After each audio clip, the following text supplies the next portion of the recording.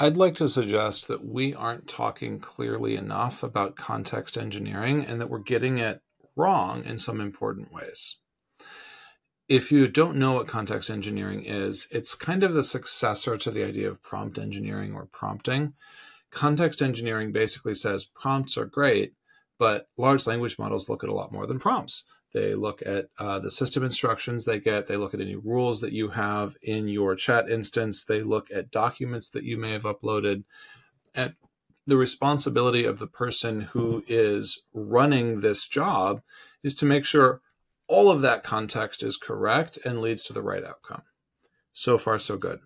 Same page.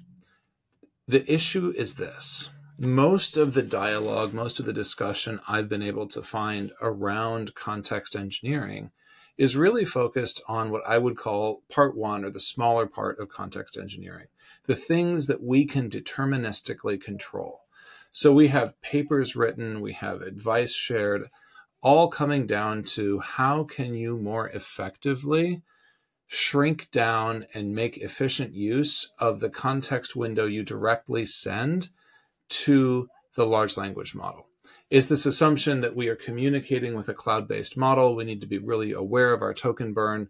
And so you have things like the uh, famous paper on chain of draft, where the idea is that you can get the LLM to save a bunch of tokens if you remind it that it can approximate logical thinking by writing its own symbols and shorthand instead of full token based uh, English to write out chain of thought this turns out to save lots of tokens and be almost as good because it's really the act of writing things down for the LLM that helps it to think clearly. Uh, and I realize I'm using some anthropomorphizing metaphors, but but you get it. Uh, the act of writing down the symbols seems to work to prompt logical trains of thought for the LLM in a similar way to us humans writing things down and being able to remember as we go. All of that is part one, deterministic context. So static prompts, knowledge bases, documentation, data feeds, all things we can control. That's the smaller part, and we don't talk about the larger part. The larger part is probabilistic context. So, what I'm saying is, you have only a small piece of the overall context that the LLM uses to get you an answer if you have any kind of web access in your call at all. Now, to be fair, sometimes you have no web access and you want it that way. Sometimes you are just sending very, very structured calls, no web access, no external tools, and you just want the LLM to generate a response. In that case, it makes sense to microcontrol part one so that you get extremely efficient responses. But I find that especially as LLMs push you to connect them to broader data sources so they get smarter, people are more and more assuming that they want an LLM that has access to the web. They want an LLM that has access to what I would call non deterministic or probabilistic context. And when that happens, the number of tokens of context is so much greater it's hard to count. Your deterministic context becomes a drop in the bucket compared to how much probabilistic context, context the model can acquire. So, for example, if I tell uh, a multi agent system like Claude Opus, hey, go and research this topic, and then I give it a Word document that has my perspective, and I say, go research this. I, I kid you not, 400, 500, 600 websites later, it comes back. There is no way that my document and my prompt are any remotely measurable percentage of the total number of tokens it just processed. The only way that it still maintains a kind of focus is because it has been clearly reinforcement learned and trained to focus on the user's ask, which is fine. But all that does is transfer the responsibility for shaping the model's choice of probabilistic context to the prompt itself. And the prompt is therefore not deterministic. The prompt itself is probabilistic now. We are shaping the context that the agent will go and grab by prompting. And we can't control it, but we can shape it. And so the question becomes well, how do we start to shape that well? And how do we start to craft an environment that enables the AI to understand what we mean?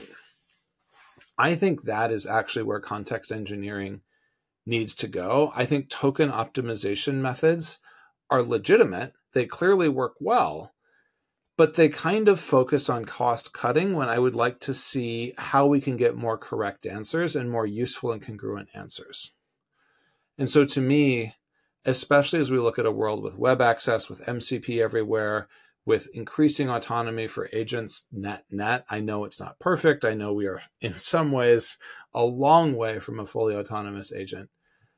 We still want to be in a place where we understand the impact of our prompt on the overall probabilistic context. So here's my set of principles for you as you think about this. Number one, you need to expect discovery. So design for semantic highways. Think about it as what is the rate at which a desired response comes back when you include probabilistic context?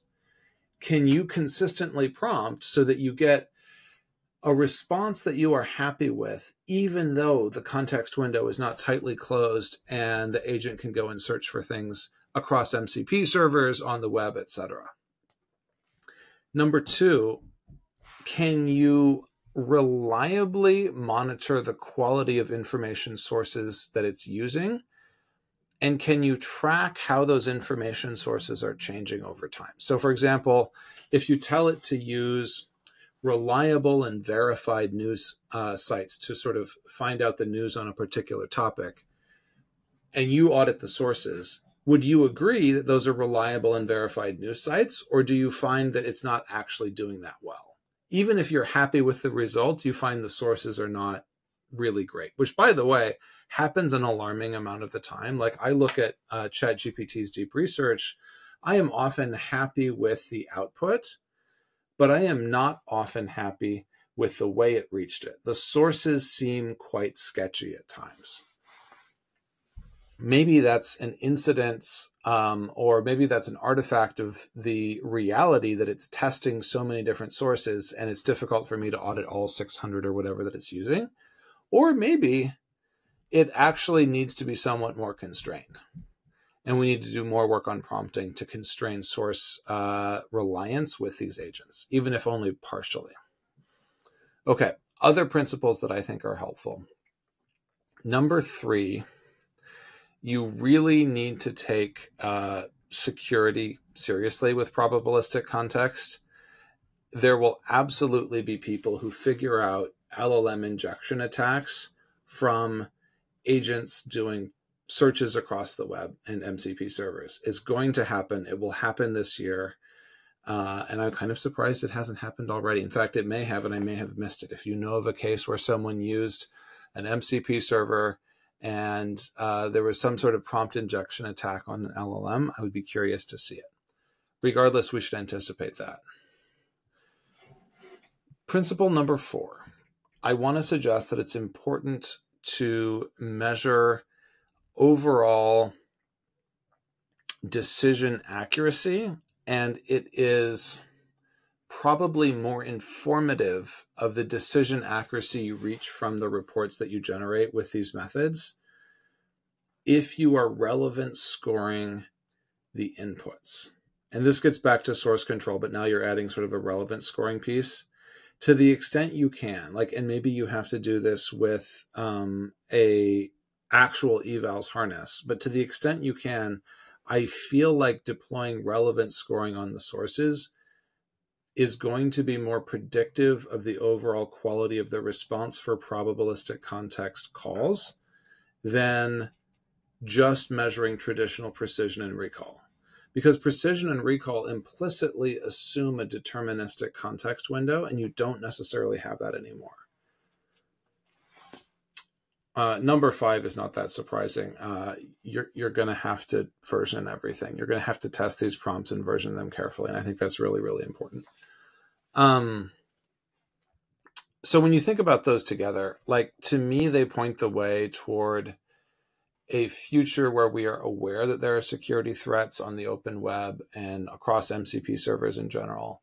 We understand that these larger context windows are probably beneficial to higher quality decisioning by LLMs, but we need to design our evals fundamentally around the idea that source source quality across this larger context window matters a great deal for quality of decision, the probabilistic context window, the one you can't fully control.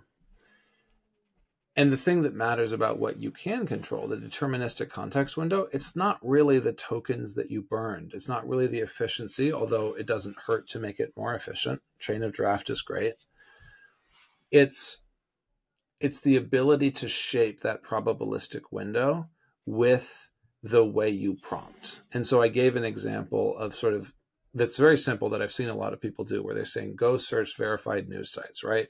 People try and constrain the search space. Go search academic articles is another example. We're not really like evaling those in most circumstances. Most of the evals I see are around sort of the precision, recall, quality of answer for specific utterances. Often they're in customer success spaces where it's a very deterministic space. I think evals harnesses need to evolve and grow to handle a world where deterministic context is just a small part of context engineering. And a lot of context engineering involves thinking about how to shape agentic search of the open web or potentially in large companies a very large internal data structure. How do you shape, sort of use the same principles to shape how you search a very large internal data structure as an agent? So I hope that was sufficiently nerdy for you.